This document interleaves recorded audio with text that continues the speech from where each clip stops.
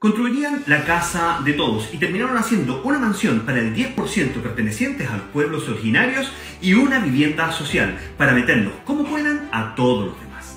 Dijeron que escribirían una constitución paraguas, una idea espectacular, ya que podrían cubrir del sol a los chilenos del norte y de las intensas lluvias a los sureños y a la gente de la zona más austral. Pero terminaron diseñando un traje de agua que al 90% de los chilenos no nos servirá.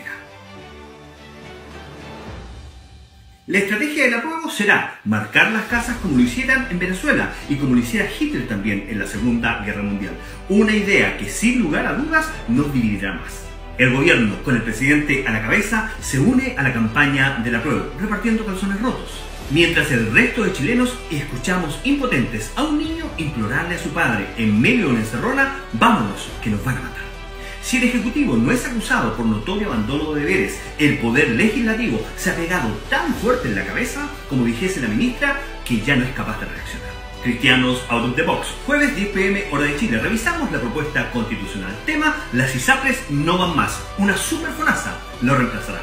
Invitado. Vicente Cuyot, enfermero Universidad de Santiago, magíster en salud pública, mención gestión, diplomado en prevención y control IAS y gestión de calidad en salud.